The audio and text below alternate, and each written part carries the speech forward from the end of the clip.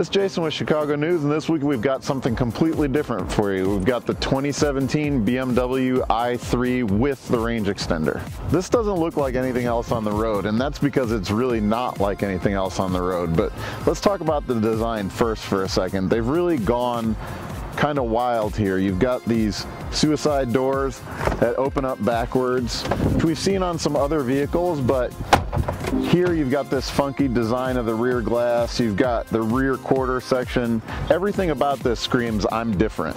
Let's check out the other side, not because it looks any different, but because it shows you why this is different than any other electric vehicle. You might notice there's two fuel doors on here. One of them is for the electric fuel. You've got your charging ports, but then up here, you've actually got a gas tank as well. There's a two gallon cell in here, which allows you to power up the 650cc two cylinder engine, which is just a generator dedicated to charging the battery. It's clear just by looking at it, this is a really interesting vehicle and we've got lots to talk about. So let's hop in and check it out. This BMW i3 looks just as funky on the inside as it does on the outside. Some really interesting material choices that obviously they've used some reclaimed and recycled materials, but they want you to know that. They haven't tried to hide them. There's this reclaimed plastic on the top of the dash. It really ties in nicely though with this beautiful wood that runs through the dash here. It actually makes the interior look a bit luxurious even though it has these materials often like you'll find in some modern construction where they've used interesting materials in an interesting way. You get that feeling here. Not only are the materials unconventional but the design of the interior is unconventional too. The way the nav screen is floating the center dash display the shifter controls the way everything is laid out the suicide door arrangement, everything about this car is unique. And they're really going for stretching that, pushing the envelope with both design and technology.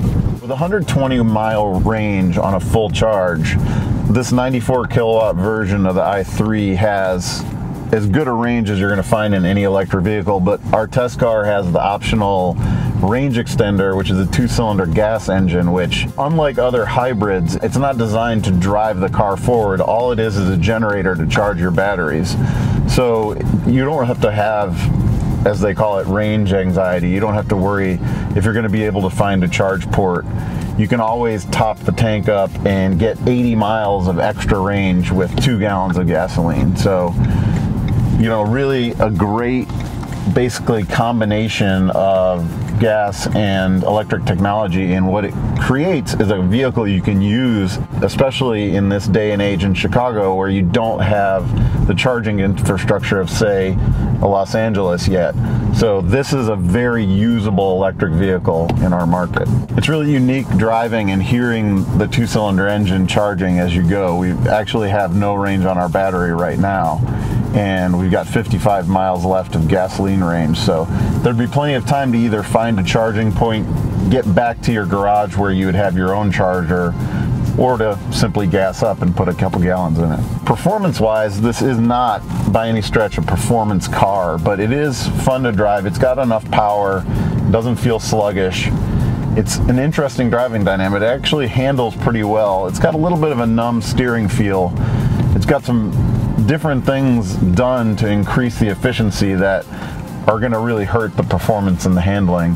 Very narrow tires. It's all really purposely built to maximize efficiency. All that really starts with the frame. This car is built off of a carbon fiber frame. They've really done everything they can to reduce the weight of the chassis so that they can put more battery power in the car. And the batteries are all down low, so this car has a very low center of gravity and therefore it's very stable. The low weight combined with just how tall this vehicle is means that if you're having a windy day and you're driving down the highway, you actually can feel it move around a little bit. It's hard not to look at this i3 and think it's a perfect get around the city vehicle with such great electric range, obviously regenerative braking every time you're slowing down, you're building battery power back up, but also just the size of it very short front and rear overhangs so you maximize interior space.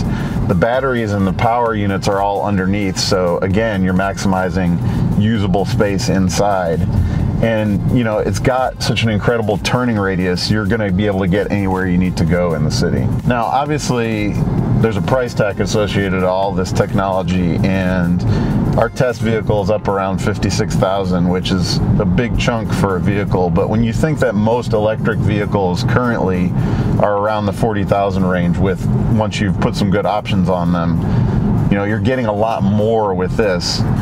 Just the range extender alone makes this way more usable vehicle and you get the unique looks of this BMW as well along with that. A lot more functionality. This is a very good vehicle to use every day. It's got tons of space, it's got great legroom, headroom, it's got great storage space in the back, tons of pockets. You got these huge door pockets, lots of places to put things. A couple small gripes though. There's only one USB charging port, which seems kind of funny in a vehicle that's all electric. And the other thing is the rear seat is a little hard to get in and out of with the suicide doors, but more so there's a little bit of a lack of headroom in the back, again due to the funky exterior design. Not only is this a new idea for a vehicle, how a vehicle is powered, how it's constructed, but there's some new ideas on driving experience as well here. And the regenerative braking means that you don't really need to use the brake pedal very much at all in this car. Basically, I'm going to let off right now.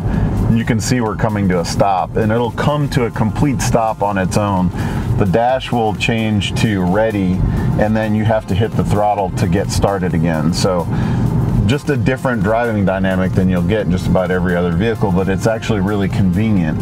You can really drive this car even in the city with just one pedal.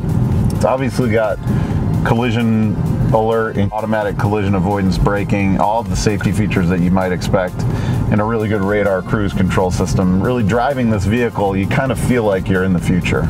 So what do we think of this 2017 BMW i3? Well, this is as close as you can get to driving in the future. It's got great hybrid technology that's not like any other hybrid, where it charges the battery instead of driving the car. It's got great value considering what you get, and this is the future of automobiles. Design-wise and interior-wise, this is as juicy as this watermelon boat behind us.